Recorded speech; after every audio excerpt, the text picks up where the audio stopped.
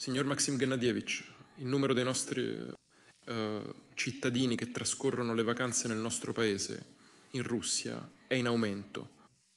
E aumenta anche il volume dei turisti eh, che vengono nel nostro paese, cioè anche il cosiddetto turismo incoming sta crescendo.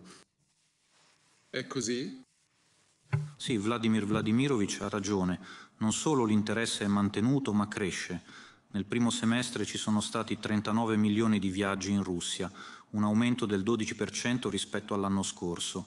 Per la stagione estiva maggio ha visto un incremento del 5% rispetto a maggio anno scorso e giugno un 12,8% rispetto a giugno scorso.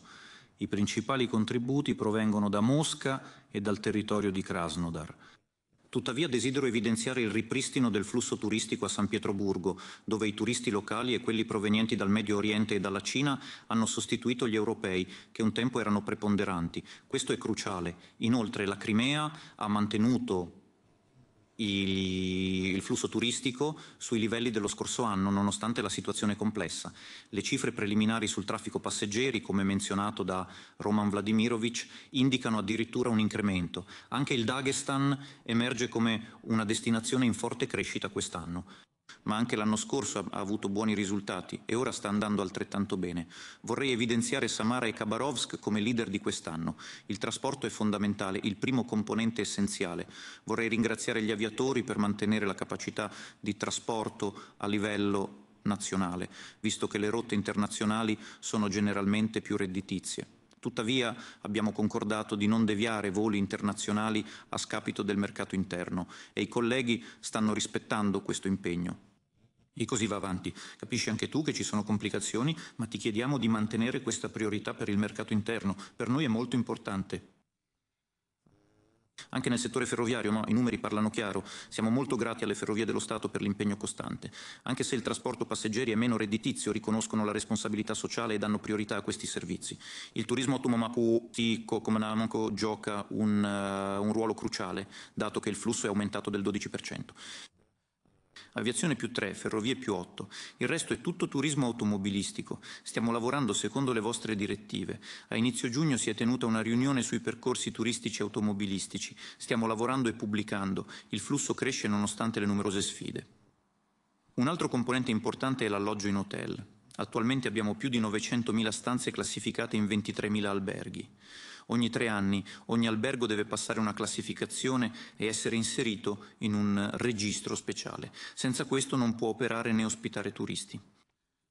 Tenendo conto di questo, dall'inizio dell'anno sono stati riclassificati 135.000 numeri.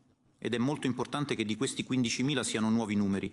Questi sono i nostri programmi che supportano gli hotel modulari e quelli stazionari. Sono stati avviati e danno veramente dei risultati.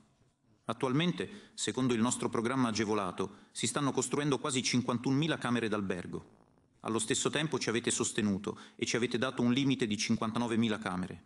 Avevamo delle richieste, ma non tutte le banche e, considerando i tassi di interesse e così via, hanno sostenuto l'accordo. Abbiamo un limite e da qui alla fine dell'anno selezioneremo altre stanze, perché continuano ad arrivare nuove richieste. Stiamo supportando la costruzione di glamping e hotel modulari. Quest'anno dovremo consegnarne 12 5.000.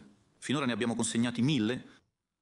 Partiamo dal presupposto che naturalmente gli hotel modulari, non richiedendo molta documentazione, vengono solitamente utilizzati subito dagli imprenditori che poi completano tutta la documentazione finanziaria, quindi in realtà sono di più quelli che operano. Ma chiediamo con insistenza ai governatori di prestare attenzione a questo punto affinché tutto sia completato correttamente il prima possibile perché stiamo predisponendo una nuova selezione per il prossimo triennio su vostro incarico e naturalmente vogliamo assicurarci che tutti gli impegni che abbiamo preso con voi e i governatori con noi siano rispettati da tutti e tutto funzioni in modo efficace.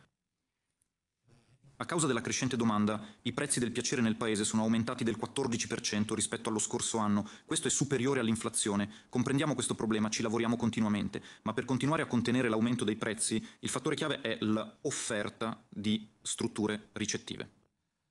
E con tassi di interesse elevati ovviamente abbiamo bisogno di, di alcune ulteriori misure di supporto. In sostanza un volume così grande è stato accettato Abbiamo chiesto di prorogare l'azzeramento dell'IVA per gli hotel, attualmente valido fino al 2027, fino al 2030. Gli aumenti dei tassi di interesse hanno allungato i tempi di ammortamento. Anche Anton Germanovic comprende la situazione e ha convenuto sulla proroga.